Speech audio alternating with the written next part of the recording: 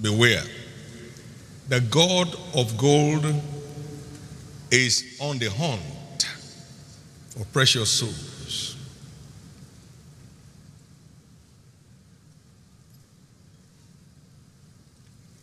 When you see beware around any electrical installation means you do you want your life? Stay off. Stay off or you'll be cut off. And they put a skull and a cross. Do you want to become a skull? Then dare it. Beware.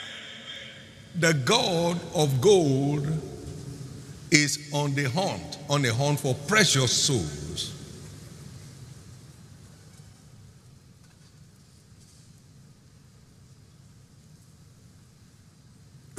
Paul said, I seek not to warn everyone, even with tears.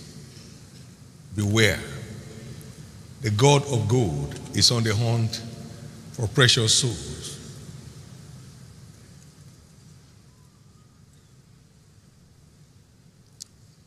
Is ever seeking for worship.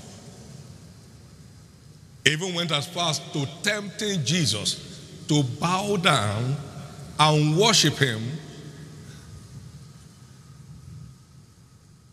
upon showing him the kingdoms of the world and the glory thereof. Get thee behind me, Satan. It is written, Thou shalt worship the Lord your God, him only shalt thou serve.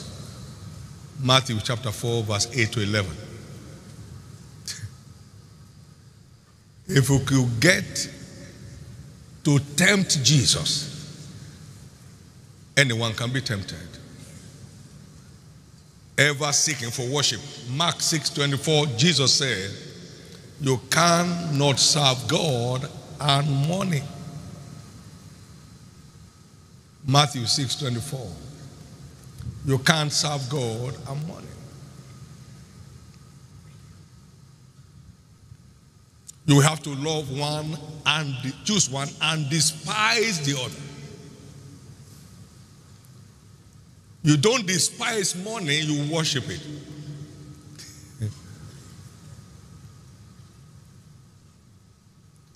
Nature abhors vacuum. There are two contending forces over our lives God and mammon, or the demon of money.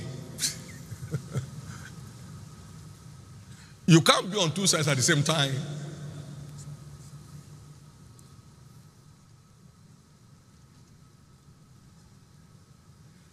You have to choose one and ignore the other. I once said to God, whatever you will give me in my life that will disconnect me from you, please don't give me. I beg you. I'm the one begging you. Don't give me a beg. Don't give me a beg. Your presence is more valuable to me than all the treasures of the world put together.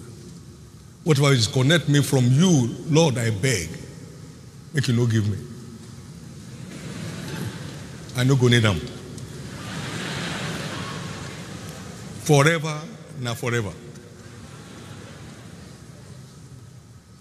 It was between me and God.